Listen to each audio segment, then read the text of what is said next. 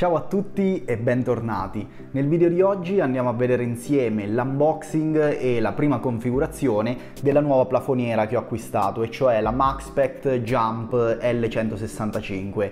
In particolare faremo insieme una panoramica di quelle che sono le diverse funzioni e le caratteristiche tecniche senza però scendere troppo nel dettaglio perché poi vorrei parlarvi in maniera più dettagliata di tutte le funzioni in un video dedicato. Questo però soltanto dopo aver testato questa plafoniera per qualche settimana. Per chi non la conosce, la serie Jump è in pratica una linea di prodotti della Maxpect destinata alla tecnica di fascia intermedia, quindi a tutti quei prodotti che hanno caratteristiche leggermente inferiori ai prodotti top, però con un prezzo di vendita decisamente inferiore. Devo dire che ho pensato a lungo a quale potesse essere la plafoniera più adeguata alle mie esigenze e alle caratteristiche attuali della mia vasca e la verità è che non volevo fare un salto diretto da una plafoniera super economica a una plafoniera top come la Radeon XR15 che mi è stata consigliata da alcuni di voi. Sicuramente in futuro arriverò anche a montare una plafoniera come la Radeon, però allo stato attuale vorrei andare per step e in qualche modo godermi il viaggio. Proprio per questo motivo alla fine mi sono orientato sulle plafoniere di fascia intermedia e in particolare su due modelli, la Maxpect appunto e la Aqua Illumination Prime 16 HD che è di gran lunga la più diffusa sul mercato come plafoniera di fascia intermedia. Devo dire di essere stato molto ma molto indeciso fino all'ultimo perché entrambe hanno caratteristiche piuttosto simili, entrambe offrono una gestione tramite cloud, entrambe garantiscono una vasta personalizzazione dello spettro cromatico e delle schedulazioni ed entrambe hanno una potenza più o meno simile, anche se in realtà la Maxpect ha 65 watt contro le 59 della Aqua Illumination quindi ben 6 watt in più che comunque non sono tanti ma fanno sempre comodo. Però ad essere onesti sono stati altri due motivi per cui alla fine ho scelto la Maxpect piuttosto che l'Aqua Illumination. Il primo è che la Maxpect non ha una struttura a lente singola ma ha 6 lenti distinte e questo dovrebbe garantire una migliore distribuzione della luce anche nelle aree più nascoste della vasca che potrebbero altrimenti risultare in ombra a causa della struttura della rocciata. E il secondo importantissimo motivo è che a differenza della Aqua Illumination la Maxpect fornisce nella confezione un braccio di metallo per il montaggio a bordo vasca questo per me ha avuto un peso fortissimo nella scelta finale perché in pochissimi casi il supporto di montaggio viene fornito con la plafoniera, ma è sempre qualcosa che bisogna acquistare a parte e che nel migliore dei casi paghiamo almeno una cinquantina d'euro. Dopo questa introduzione direi che possiamo procedere all'unboxing. Partiamo dalla confezione che fa davvero un bel effetto. È una confezione molto minimal, quindi senza troppe scritte, disegni, loghi, eccetera. E devo dire che l'arancione scelto come livrea per la serie Jump è davvero intrigante. Inoltre mi piace un sacco il contrasto tra l'opaco del cartone e il lucido della foto della plafoniera quindi nel complesso imballaggio davvero piacevole però andiamo avanti e vediamo cosa c'è all'interno Allora, in primo piano abbiamo subito il libretto delle istruzioni, devo dire che è piuttosto spesso, comunque avrò tempo di studiarlo per bene nei prossimi giorni e poi farvi vedere tutte le possibili configurazioni in dettaglio. Qui invece abbiamo un foglio di plastica imbottito a proteggere la plafoniera da eventuali urti e devo dire che nel complesso i prodotti sono protetti piuttosto bene perché comunque la confezione è molto rigida e resistente. Qui abbiamo la plafoniera che andiamo a vedere bene da vicino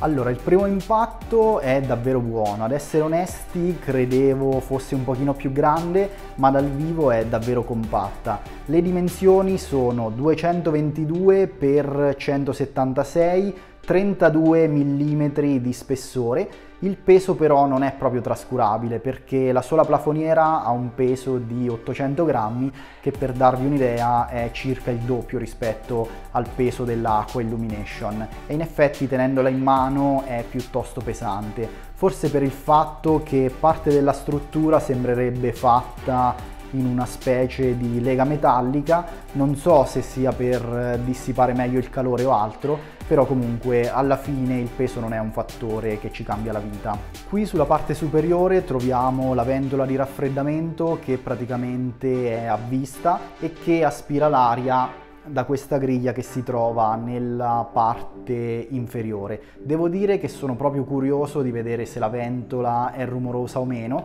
perché nella mia vecchia plafoniera trovavo la ventola di raffreddamento un pochino troppo rumorosa. Qui sotto vediamo anche le sei diverse lenti di cui vi parlavo prima che è un sistema che dovrebbe garantire una migliore copertura del fascio luminoso anche negli angoli un pochino più nascosti.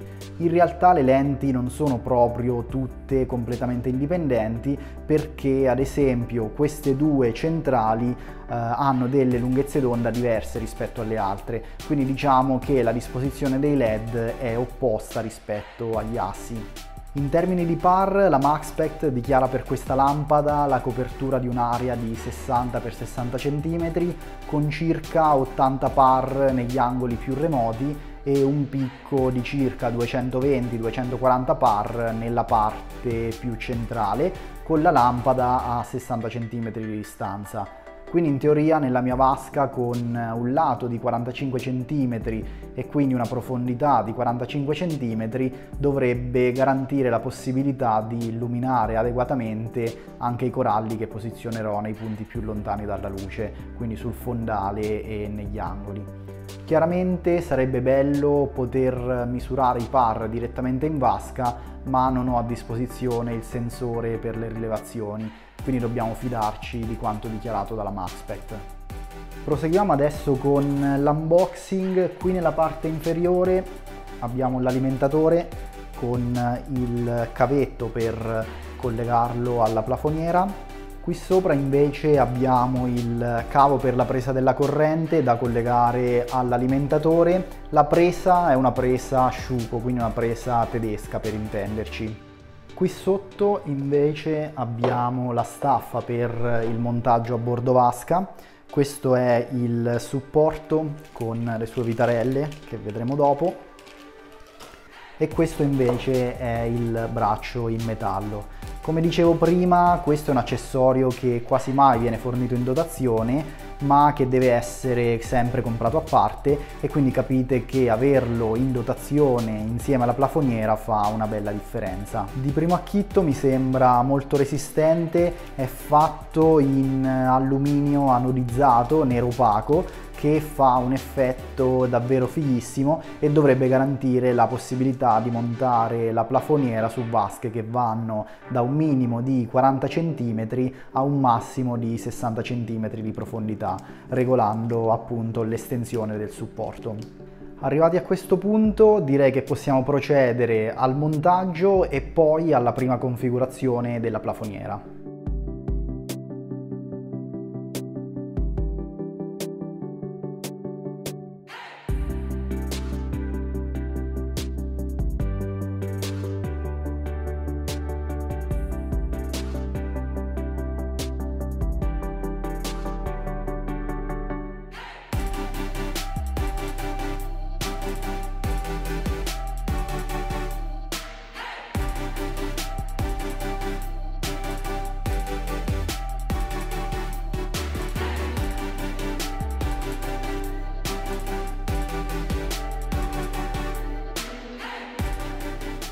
Allora, ho appena finito di montare la staffa a bordo vasca e l'ho montata in pratica con la minima estensione possibile sia in altezza che in profondità.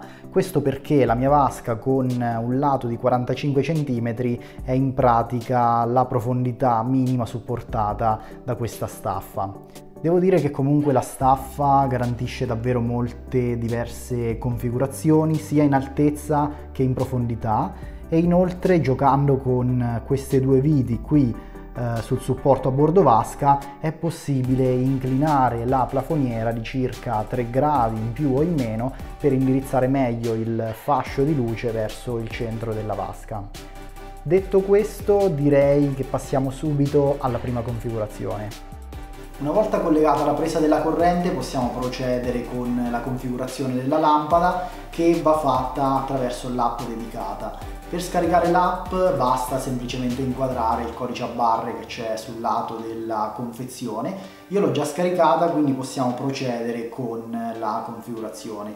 L'unica cosa da ricordarsi è di tener premuto per 6 secondi il pulsante del wifi sul retro della plafoniera e questo per farla entrare in modalità configurazione attraverso il router wifi.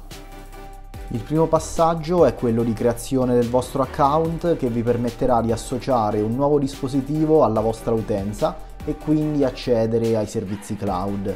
L'attivazione dell'account avviene in pochi secondi, basta semplicemente premere su registra e confermare la propria email, non vengono richiesti altri dati personali.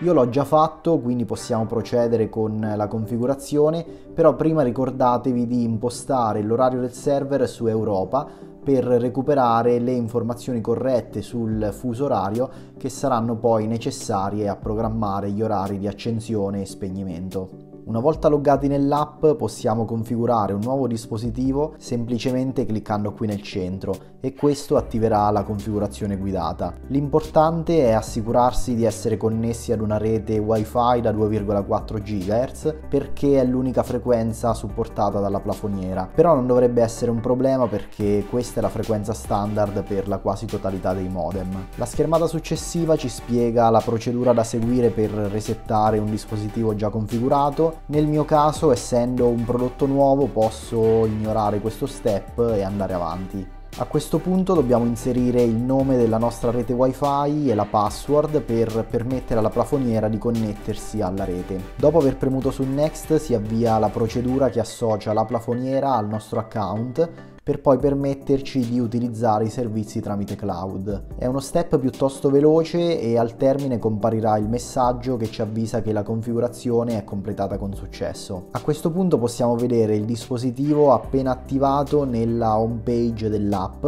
e da qui possiamo procedere con i diversi settaggi dello spettro cromatico, delle schedulazioni e di tutto il resto. Appena entrati nelle impostazioni appare questo pop-up che ci chiede se vogliamo sincronizzare l'orario della plafoniera con quello del telefono e direi che è bene effettuare la sincronizzazione per riuscire a programmare i vari timer in maniera più precisa. Da qui vediamo subito che ci sono due diverse modalità di utilizzo della plafoniera, la modalità auto e quella manuale. La modalità auto è quella in cui il funzionamento è affidato per intero alle schedulazioni che andiamo a definire programmando i diversi time point su una specie di linea temporale e per ciascuno di essi lo spettro cromatico e l'intensità che ci interessa utilizzare attraverso i cursori dedicati ai sei canali. È interessante notare che mentre spostiamo i cursori abbiamo anche sullo sfondo una simulazione di quello che sarà lo spettro cromatico per quello specifico time point. Nella modalità manuale invece non ci sono schedulazioni da configurare, ma si procede a definire direttamente lo spettro cromatico. E questo perché nella modalità manuale la plafoniera rimarrà fissa sullo spettro cromatico impostato e non si spegnerà finché non saremo noi ad abbassare manualmente a zero l'intensità dei sei canali sui cursori. Questa modalità può essere utile se ad esempio abbiamo necessità di effettuare la manutenzione al di fuori degli orari di accensione e spegnimento programmati e non vogliamo attendere appunto l'accensione automatica della plafoniera. Per aiutarci a programmare la plafoniera c'è anche una funzione chiamata Easy Setup che ci consiglia i settaggi più adatti sulla base della popolazione della nostra vasca. Come vedete infatti ci sono sei diverse opzioni che coprono le vasche monospecifiche, le vasche miste e infine c'è anche un'opzione per le vasche con soli pesci. Detto questo spero che questo video vi sia piaciuto ma soprattutto che vi sia stato utile in qualche modo e noi ci vediamo prestissimo con nuovi video. Ciao!